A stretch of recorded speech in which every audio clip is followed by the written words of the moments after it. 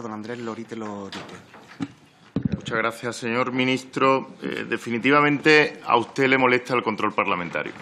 Usted ha venido aquí y se le han hecho infinidad de preguntas concretas y ha sido incapaz de contestar a ninguna de ellas, más allá de simples superficialidades. Tiene esta sala llena de altos cargos del Ministerio y, de asesores que le pueden facilitar la información en cada caso. Definitivamente a usted no le gusta someterse al control de las Cortes Generales.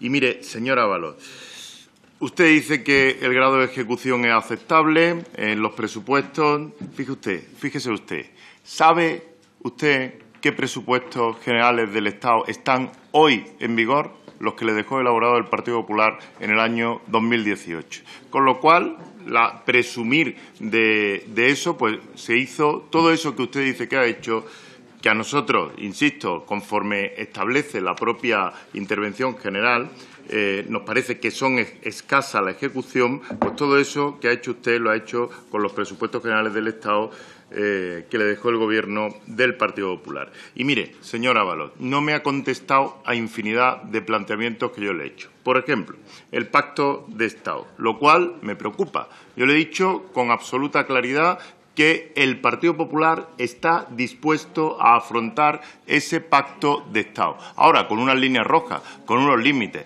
Evidentemente, si hay acuerdos de mesa camilla, si hay cheques extras, Evidentemente no, porque eso lejos de ser un pacto de Estado por la infraestructura es algo que se parece más a un mercadillo. Entonces, para eso no cuente con el Partido Popular. Pero si es un pacto que no se sale de los principios constitucionales, si es un pacto que no se sale del equilibrio y la cohesión territorial, aquí está el Partido Popular, que es un partido de Estado.